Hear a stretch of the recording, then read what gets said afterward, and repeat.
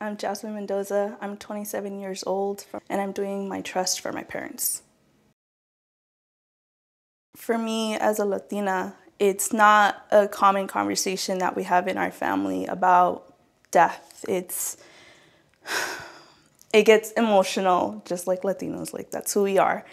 But it's not something that we like to talk about. It's not something that anyone enjoys talking about but it's something that's important to us and I know with a trust we will be protected. The website and app was very user friendly and one of my favorite features on there was the voice prompts that they have.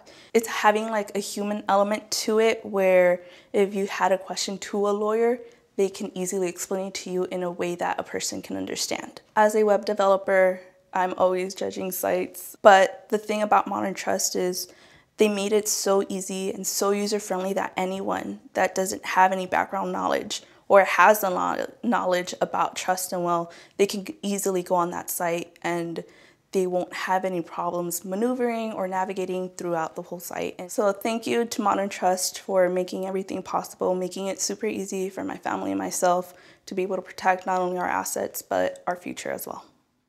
Create your legacy the modern way with Modern Trust.